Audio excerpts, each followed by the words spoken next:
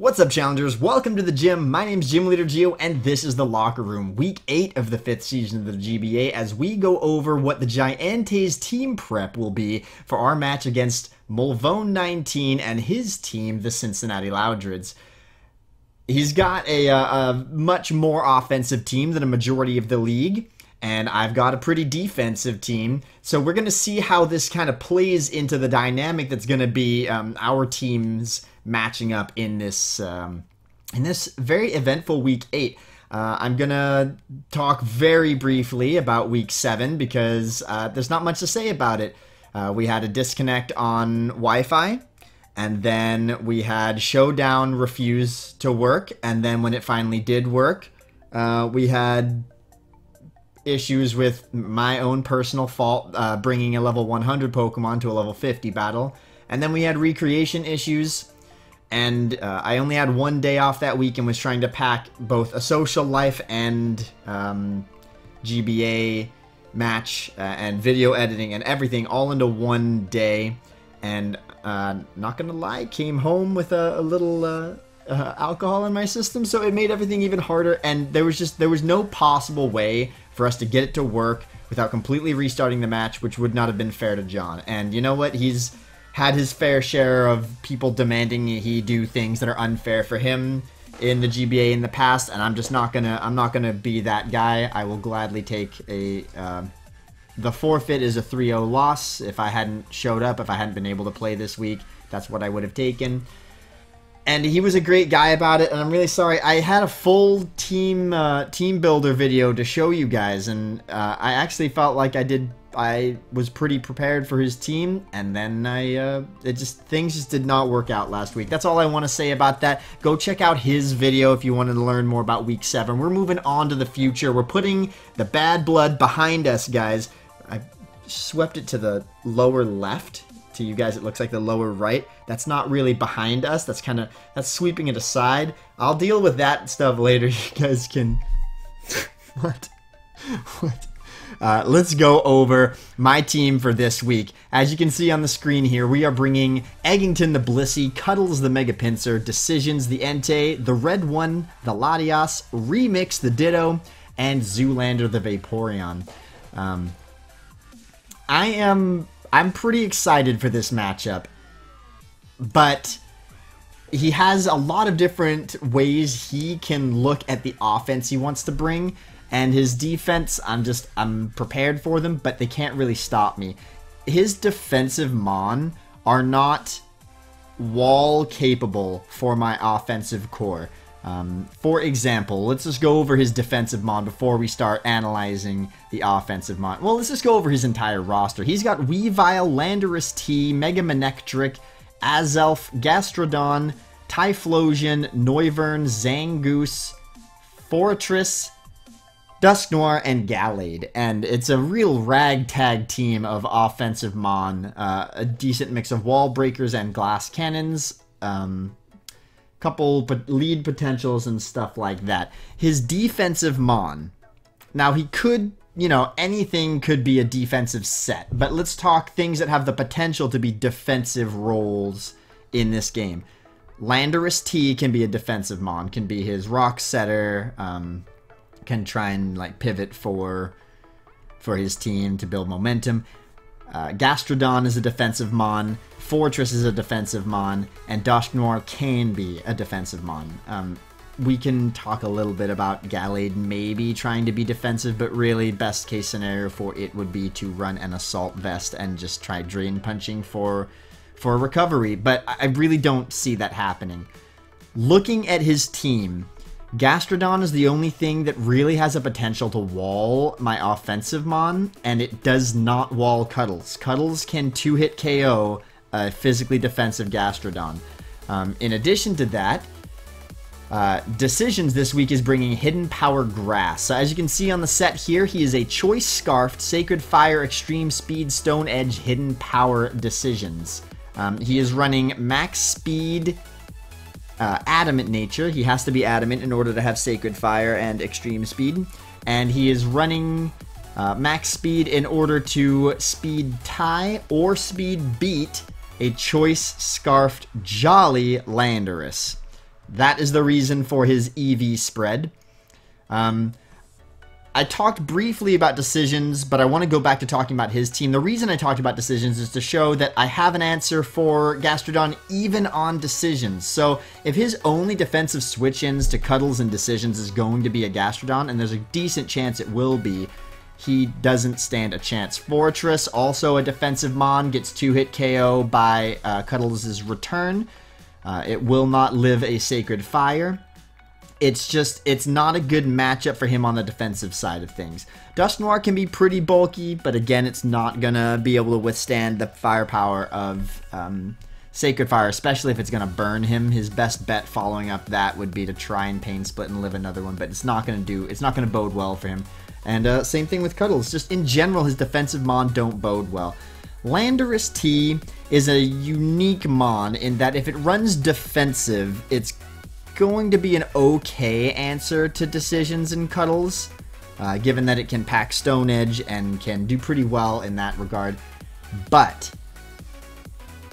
if it's defensive, it absolutely cannot touch any of my other Pokemon. It's like a decent check for cuddles and decisions, but it means that Eggington walls it, the red one walls it, Remix walls it by becoming it and thus walling itself, and Zoolander walls it.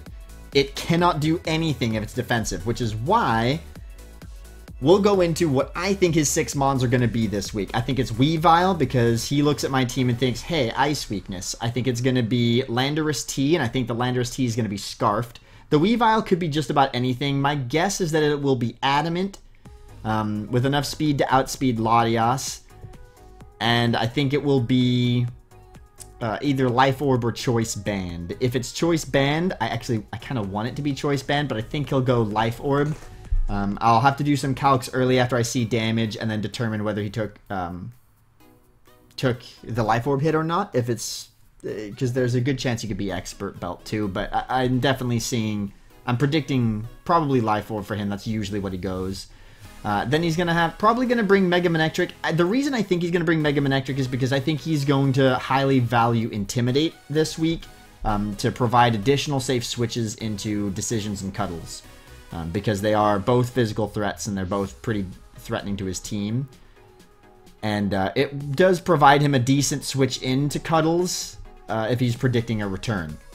So that's kind of how I'm seeing those three all coming. Um, the thing is that Mega Manectric is not a problem for this team. I'm bringing Eggington, and Eggington can wall this Pokemon for days. And for that reason, I really need to keep it around because without it, while I do also have answers, for example, um, the red one can also take a majority of his attacks. Even HP Ice from a modest Mega uh, Manectric is not the end of the world for me.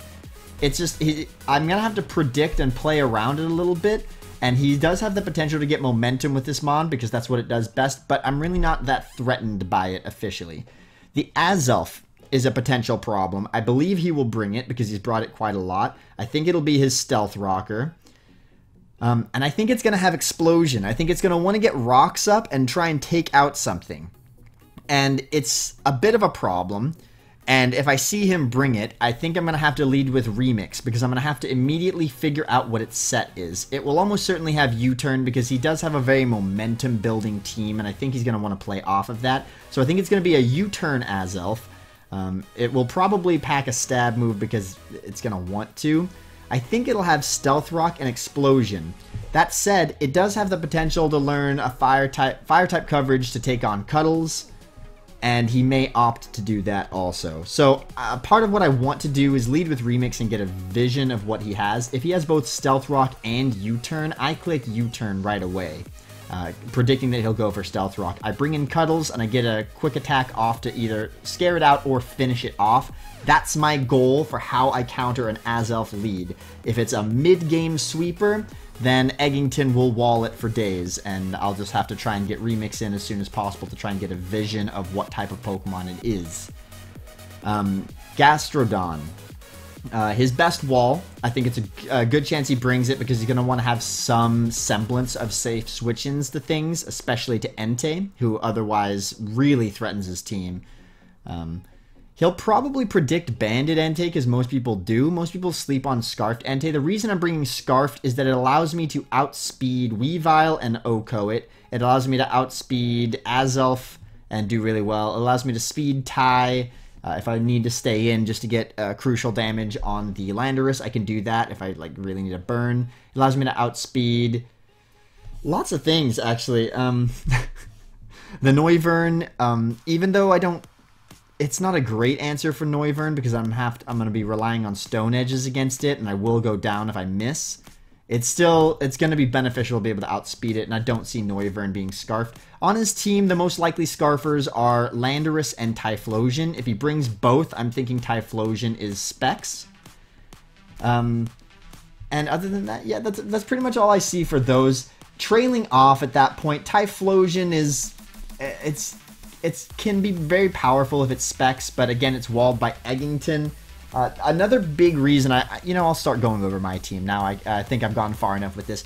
Eggington is one of the first Pokemon on my roster. The reason I just immediately knew I had to bring Blissey is that looking at his specially offensive Mon, um, many other special offensive oriented Pokemon are capable of, in the league format, taking on a Blissey because a lot of the time they are able to pack decent physical move pools um, or very powerful Psyshocks or something like that. Looking at his team, Mega Manectric does not have that potential. Uh, the best it can opt to try and do is Thunderbolt it, and it's not doing more than like 30%, even if it's modest. So it gets walled for like just days.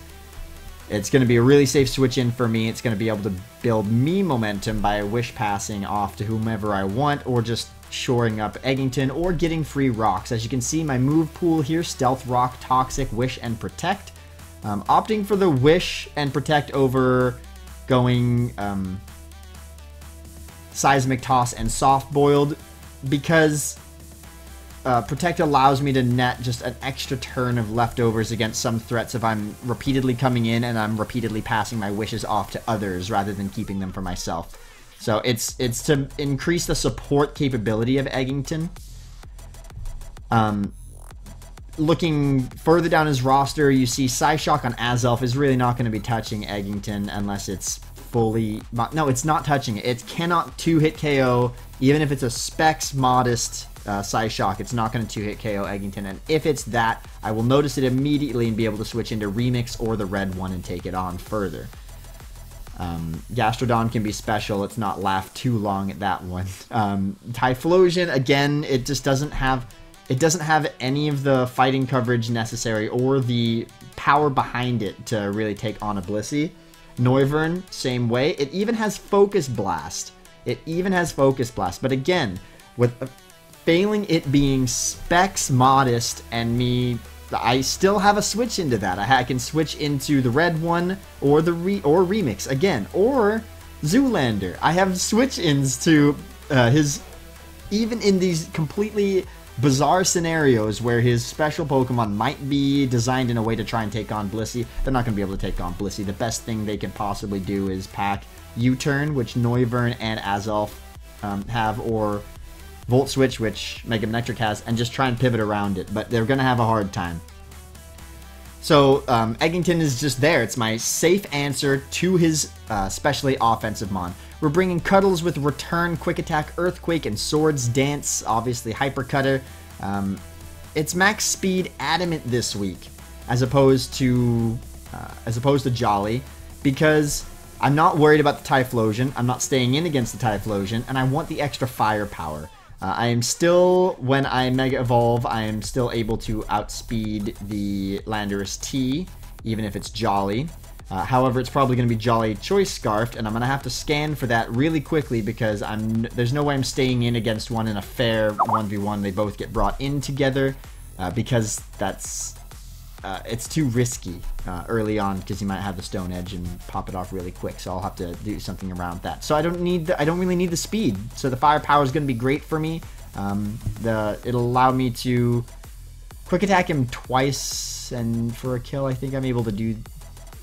Let's not get too into specifics of calcs here because those are very um, specific scenarios. Decisions I went over a little bit earlier. Scarf because I think the speed matters more than the uh, raw, the brute force of a choice band set. His team is very flimsy. I don't need to be trying to pick up OHKOs because I, he's a good player. I predict his his team is worse than it was last year, but Mulvone's a good player. He demonstrated that last season when he went was it seven and three, uh, and I got one of those wins against him. So let's try and keep that train rolling. The red one is here in a mixed offensive support set running Draco Meteor, Roar, Defog, and Roost.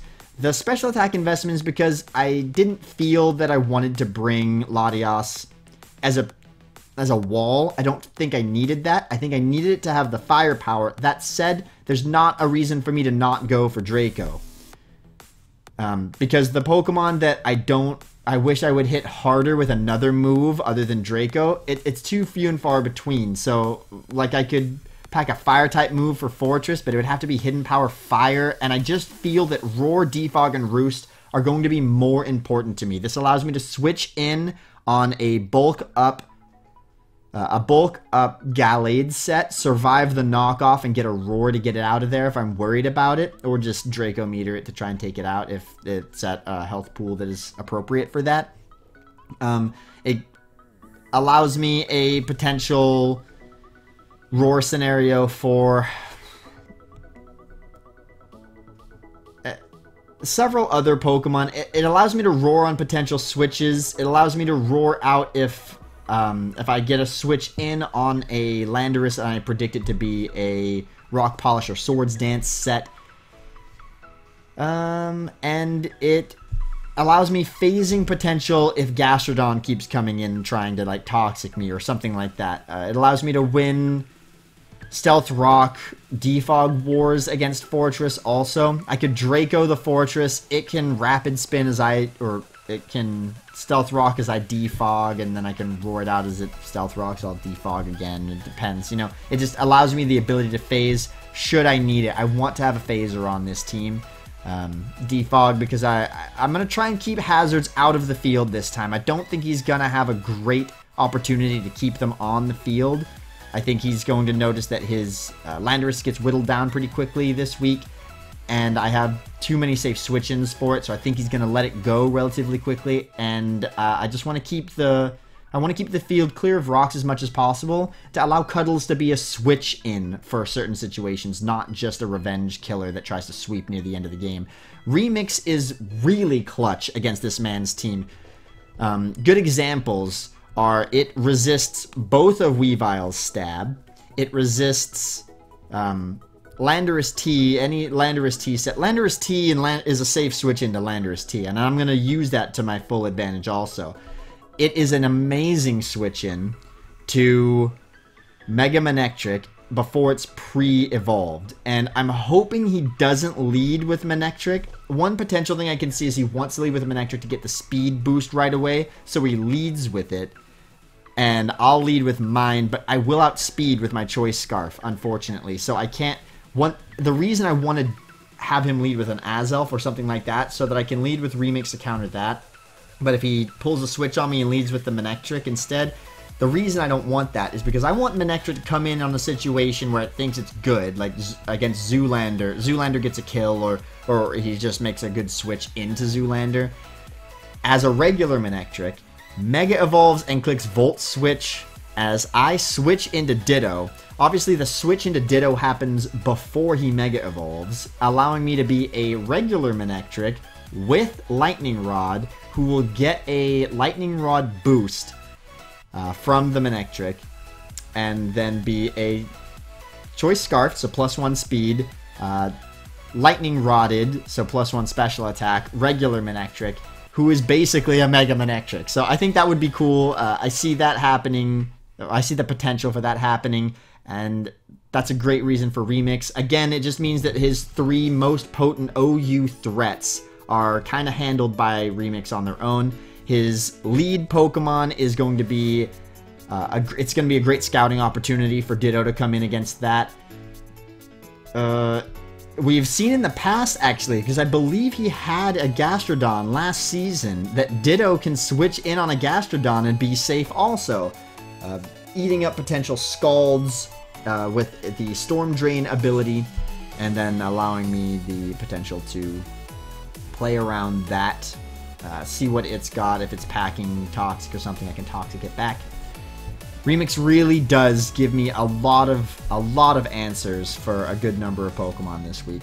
Zoolander is coming this week, and he is going to be Scald, Wish, Protect, Heal Bell with Water Absorb, a physically defensive set, and no item. The reason for this is it allows Zoolander to be a switch in to an Adamant Choice Banded Weavile. It allows, it forces Weavile into a situation where even after rocks it two it cannot two hit KO me.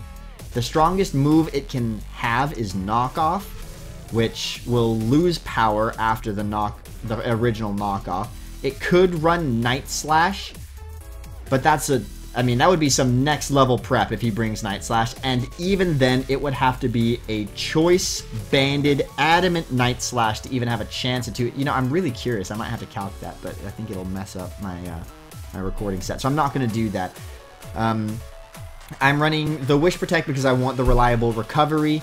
The Protect obviously doesn't necessarily need to be there since it's not buying me extra turns with leftovers, but I need it because I need to guarantee that that Wish goes off. Uh, I can't just assume that his Weavile is going to switch when it sees the Wish pop and it didn't do 50% to me with a hit.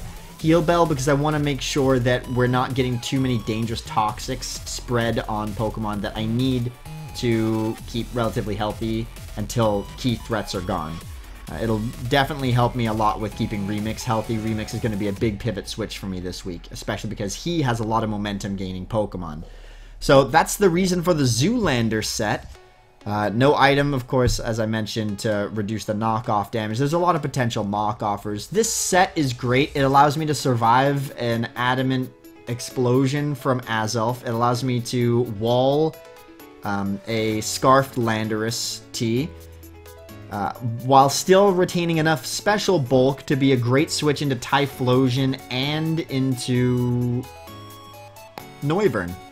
Um, the issues we kind of run into with his team prep, and why I said he can go a couple of different ways with this. If he really wants to play a Ice Sack and do some damage game, Zangoose and Gallade are both potential brings for him. Zangoose, of course, has the Toxic Boost Facade scenario going on, which makes it hit really hard on the uh, on the physical side.